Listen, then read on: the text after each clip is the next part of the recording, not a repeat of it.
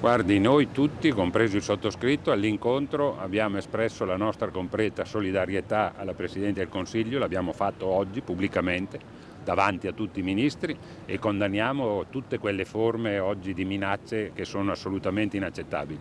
Detto questo, credo che sia importante che chi ha il governo ha uno strumento per evitare che la rabbia, che la rabbia delle persone aumenti, rispondere ai bisogni delle persone, governino. Questo è il modo. Se uno non arriva alla fine del mese bisogna mettergli in tasca i soldi. Anziché portare il contante a 5.000 euro, è meglio che mettano il contante in tasca a chi non ce l'ha.